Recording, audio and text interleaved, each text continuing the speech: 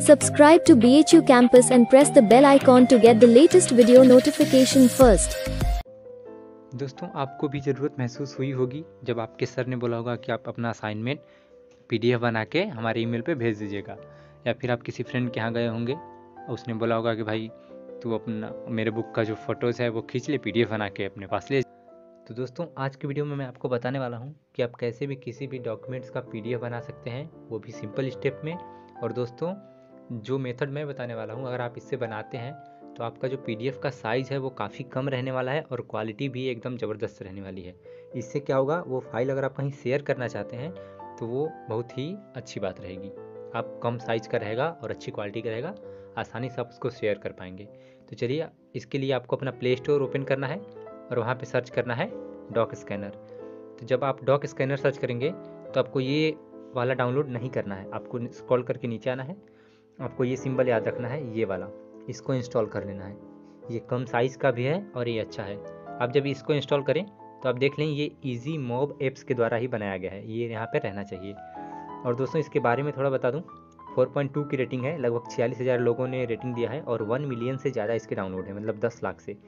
और काफ़ी अच्छा है रेटिंग के मामले में भी, प्लस इसकी जो सर्विस है वो भी। तो इसको मैं डाउनलोड कर लिया है तो इसको मैं ओपन कर लेता हूँ। तो आप जैसे ही इसको ओपन करेंगे दोस्तों तो यहाँ से देखिए मैंने कुछ पीडीएफ पहले से ही बना के रखे हैं। आपको क्या करना होगा, इधर नीचे के साइड में देख सकते हैं, एक कैमरा का आइकन है और एक गैलरी का। तो अगर गैलरी पे आप जाते हैं तो डायरेक्टली आप फ़ोटो सेलेक्ट करके भी यहाँ से कर सकते हैं। अगर आप पहले से ही फ़ोटो खींच चुके हैं, मैं आपको लाइव दिखाने वाला हूँ कि डायरेक्ट अगर आप कैमरा ओपन करके कैसे करेंगे। तो मैं कैमरा वाला एप्लीकेशन ओपन करता हूँ इस पर और मैंने सामने एक नीचे पेज रखा है, इस पर एकदम आप इसके ऊपर ठीक से रख के इस पर कैमरा को इसको एक आपने कर लिया। देखिए, यहाँ पे आपको दिखा दें, यहाँ पे एक फ़ोटो मैंने ले ली है। अभी मैं इसको इसको पलट दूँगा, उसको दूसरे साइड का भी लेना है। इसको मैं पलट के, इसका भी मैं एक बार फिर से नया दूसरा पेज मतलब ले लूँगा। तो मैंने दूसरा भी पेज ले लिया है। मान लीजिए मैं एक और पेज ले लेता हूँ। तो मैंने देखिए, इसका तीसरा पेज भी ले लिया यहाँ से। और दोस्तों, इसको मैं तीन पेज रहने देता हूँ। हालाँकि इसके बाद अभी और भी पेजेस हैं, लेकिन मैं वो बाद में करूँगा। तो मैं तीन पेजों का आपको एग्ज़ाम्पल करके दिखा रहा हूँ तो आप इसके बाद इस सही वाले मार्क पे टिक कर देना है। तो यहाँ से आप इसको देखिए फुल साइज़ जैसे आपको तो नहीं चाहिए, आपको चाहिए इतना इसको, इतना क्रॉप करना है। इसके लिए आपको यहाँ पे क्रॉप का ऑप्शन मिलता है, इस पर आपको क्लिक करना है। जैसे आप क्रॉप पे करेंगे तो ये ऑटोमेटिकली कुछ अपना लगा के लेकिन नहीं अगर होता है ऑटोमेटिकली तो आप इसको यहाँ से सेटिंग करके अपने मैनुअली करके एक इमेज फ़ोटो के लिए कर सकते हैं। ये ग्रीन बैकग्राउंड था मेरा, इसलिए शायद नहीं ले पा रहा है। लेकिन अगर बैकग्राउंड ठीक ठाक रहा तो ये अपने से ले लेगा।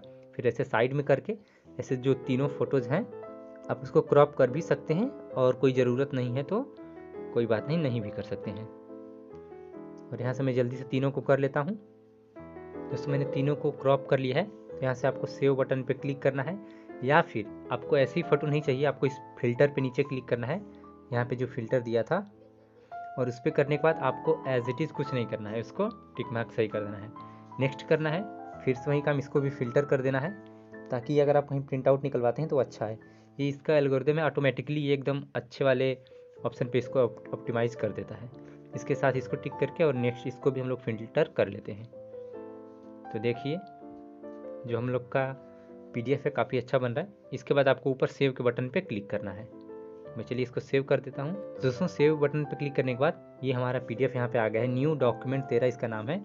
इसको इस पर थ्री डॉट पे यहाँ पे जो था, इस पर क्लिक करके इसको save H P D F पे क्लिक कर देना है। तो अब जैसे ही क्लिक करेंगे तो यहाँ पे आ रहा है कि आप किसको ओपन करना चाहते हैं। तो अभी मैं drive P D F viewer से ओपन कर लेता हूँ। तो आप लोग देख सकते हैं, ये हमारा तीन पेज का जो था पी डी एफ़ इतना अच्छा से बन के बन के आ गया है। और इसमें कोई वाटर मार्क और कुछ नहीं है कि किसके द्वारा बनाया गया है। और इसकी साइज़ भी काफ़ी कम होगी। लगभग तीन या चार सौ के बी में होगा, तीन पेज का है तो। ये बहुत अच्छी बात है इसकी। और क्वालिटी भी आप देख सकते हैं, एकदम बढ़िया आया है। तो कोई बुक्स का बनाना हो या फिर असाइनमेंट सबमिट करना हो तो आप इसकी मदद से ऐसा कर सकते हैं। तो दोस्तों, जो ये एप्लीकेशन है, इसका लिंक मैं आपको डिस्क्रिप्शन में दे दूँगा। और उम्मीद है आपको वीडियो इन्फॉर्मेटिव लगा होगा और पसंद आया होगा। तो अगर ऐसा हुआ है तो इसको अपने सभी फ्रेंड्स के साथ शेयर करिए। और एक बार फिर से जाते जाते कहना चाहूँगा, अगर आपने अभी तक हमारे चैनल को सब्सक्राइब नहीं किया है तो आप सब्सक्राइब करें और ये श्योर करें कि आपने बेल आइकन को दबा के रखा है, क्योंकि फ्यूचर में इसी तरह इन्फॉर्मेटिव वीडियो आपको मिलती रहेंगी।